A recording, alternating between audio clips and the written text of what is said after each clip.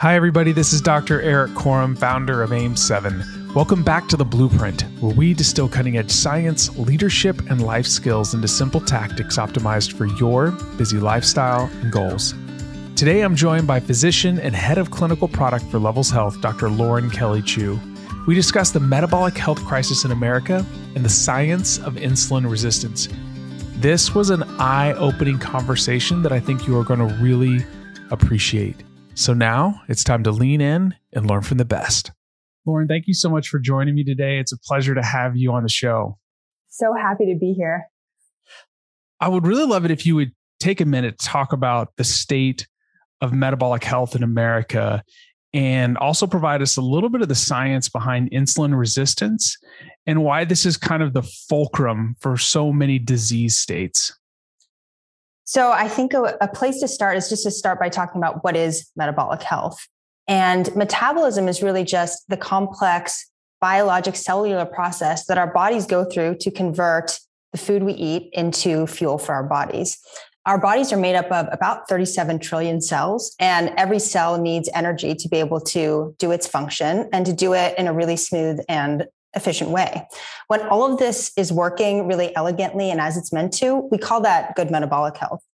Unfortunately, as you mentioned, there's a lot of dysfunction now in the way that this is happening in our bodies. And actually, it's about nine out of 10 Americans have some aspect of metabolic dysfunction. So you figure almost everyone listening, probably this is affecting them in some way.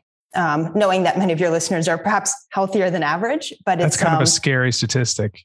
It is. It is. And I think the other piece of that is that the vast majority have no idea. And so, and I can even say this from personal experience. I, my whole life was, am a runner, really exercise a lot, eat healthily, always had a really lean BMI. And I discovered in my early 20s that I had essentially a pre diabetic blood sugar profile happening. And I had no idea. And in fact, if anyone had asked me, and, I was actually in medical school at the time, um, and if anyone had asked me, I would have said I was in perfect physical condition. So that's just one example of how kind of um, how, how much this is happening without our awareness that it's happening. And and so, what really often is the beginning of metabolic dysfunction is continuously elevated blood sugar. And blood sugar is really just the result of the food we eat. And glucose is the most common form of energy for our cells, like I said, which then goes into the metabolic pathway. When you have continuously elevated blood sugar, which is often a result from eating processed foods or high sugar foods or carbs, and even healthy foods eaten in excess can result in, in high levels of blood sugar.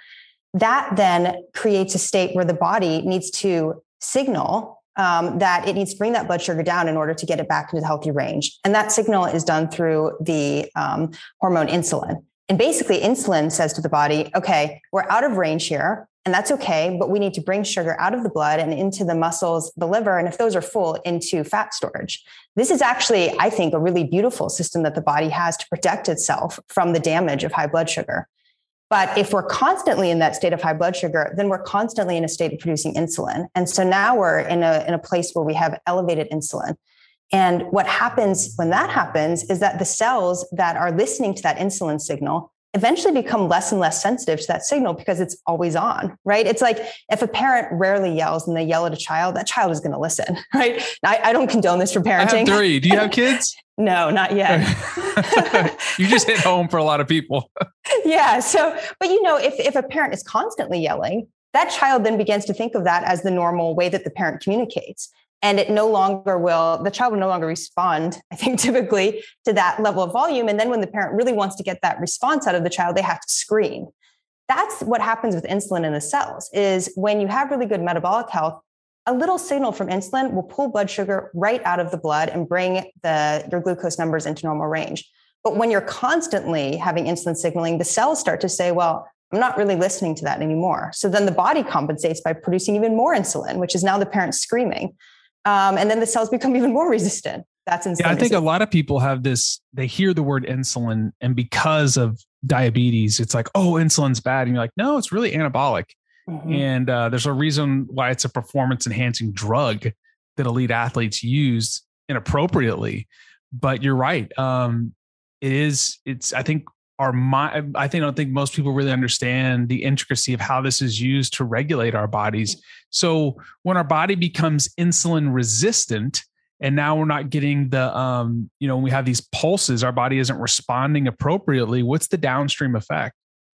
Oh there's so many downstream effects. So ultimately what happens is that your ability to regulate your blood sugar goes down which means that you are going to be having more of an experience of high blood of high blood sugar as well as blood sugar dips. What this feels like in the short term is brain fog, fatigue, mood swings. You can see manifestations in the skin like acne or even wrinkles. The, the effects of high blood sugar actually impact collagen, which leads to wrinkles. Um, and I mention that only to say that for those who are motivated by aesthetic concerns as well as as concerns happening in the body, it's just a good example of you can see that happening on the outside, but you know that there's internal processes that are mirroring that that you can't see. So wow, I'm 41, so wrinkles are, are starting to become a real real part of my life. That is fascinating. I never really thought about the skin, but with diabetics, if you look at their lower limbs, you see. Uh, I mean, the tissue can necrose, can it? Mm, yeah, and and there's and there's nerve damage. And the interesting thing is, there are really very few symptoms across the human experience that don't have some link to insulin resistance and metabolic health. And what this means is that in the long term, at this point, nine out of 10 of the leading causes of death in the US are linked to insulin resistance and metabolic health. And that just shows that there's this uniting theme across so many things, as you're mentioning, where metabolic health is at the root of it. So you look at things like cancer, heart disease, stroke, obesity, clearly diabetes, fertility through PCOS, I mean, it's just it's an endless list, and um, and the kind of amazing thing about it and the exciting thing about it is that this is often induced by lifestyle and can also be reversed through lifestyle. Waking up exhausted and sore after a workout is not a badge of honor. It's actually a sign that you are overloading your body and in turn diminishing long term health and fitness gains. My new app, AIM7, fixes this problem by turning wearable data into personalized exercise recommendations that layer on top of popular exercise programs people already love, like Apple Fitness Plus and Peloton. And they prevent burnout and improve long term fitness. Then we pick up where wearables fail, and we teach you how to fix your most pressing wellness issues, such as improving sleep, energy, and reducing stress. To get access to this exclusive program, go to www.aim7.com. That's AIM7.com and sign up now. There are limited spots available each month, so sign up now and reserve your spot. Now, back to the show. Wow. So when did when did we really start seeing the this insulin resistance become elevated? Was there a certain like time like if you're looking from a temporal standpoint was this like in the 1960s and 70s like when did this problem begin to really escalate? That is a really good question. And I actually need to find the answer myself. I know that when you look at for example sugar consumption, we eat mm-hmm. about 10 times more sugar now than we did 100 years ago. Uh, likewise, right now, about 60% of American calories are coming from ultra processed food. And this is a significant change over the last 50 years. Um, and, and, and I think the interesting thing going back to in- insulin is you can actually start to see signs of insulin resistance long before you see glucose numbers going out of whack in terms of the typical glucose testing, such as fasting glucose. So, so what are some of those signs? Right. So, so the first thing I guess I would say is just to back up when when you look at fasting glucose, which is the common screen for prediabetes and diabetes in the traditional healthcare system. The I think the misconception is that many people get those back, including at different times myself and my family members, and you see it's in the normal range for traditional healthcare. Right, that's like less than 100 typically on a fasting glucose. But the reality is that the amount of insulin that the body needs to create to keep your blood sugar in that range can be widely wildly different. For example, you might have a fasting glucose of 85 and you're producing a very small amount of insulin to keep it there. And I might also have a fasting glucose of 85, but I have to produce a ton of insulin to keep it there. So those changes in your metabolic function are happening long before you see the glucose levels change. I got a question for you. So mm-hmm. the normative range, like you're supposed to be like what below 99 for resting blood glucose. So if I'm at 90, Okay. But I have very low insulin. Is that is that better than being at 70 with a little bit higher insulin?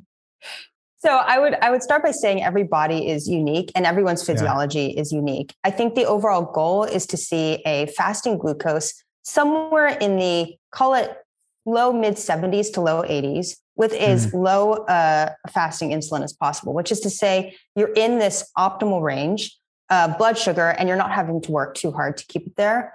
Um, I actually think, you know, you mentioned the 99 and below. I think this is something that I'd really like to see change in the way that the healthcare system deals with this, which is that we have these across all our lab testing, we have these arbitrary cutoffs where we're like, if it's 99 or below, it's fine. If it's 101, you're pre diabetic.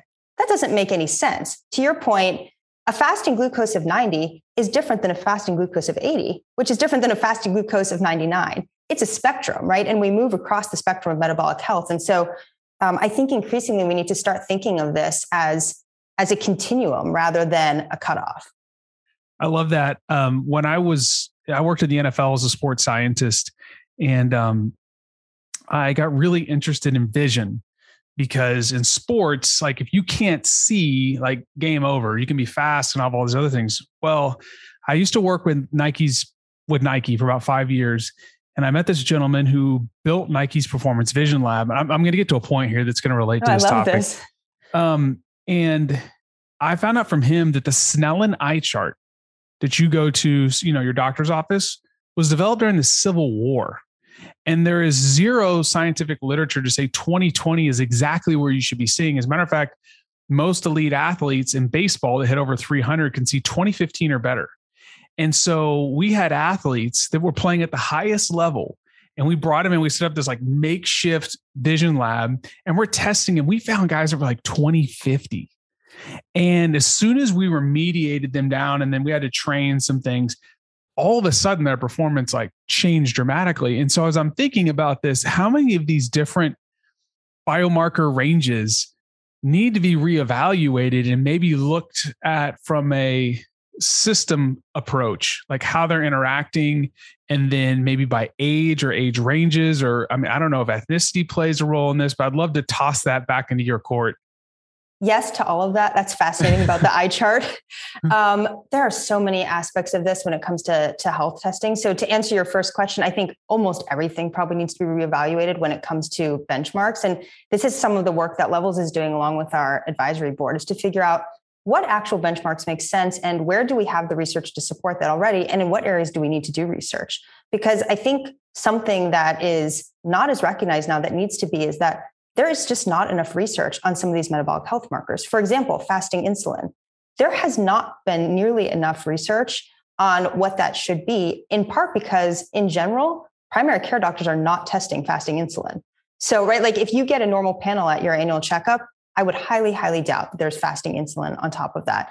And even worse in my mind is if you get a fasting glucose back, and let's say it's 97, they will not follow in general. The protocol is not to follow up with the fasting insulin. The protocol is to say everything is great and you're fine. And actually, that's right, which which is almost more damaging in my mind than the other because at that point now you're like, I can keep doing what I'm doing. So it's actually encouraging you to continue forward when you're clearly moving towards prediabetes. It's a tiny snapshot. Exactly. And so I think what we're going to talk about in our next episode is is like how using continuous wearables. So for instance, sleep right? Mm-hmm. like that was my that's where my doctoral work was in. Um and now you can like now with these wearables we can start going oh like we can capture sleep. I think soon we'll be able to look at sleep stages. Um you know there's some good ai coming out with that. But like now you can start instead of just your perception your perception of normal mm-hmm.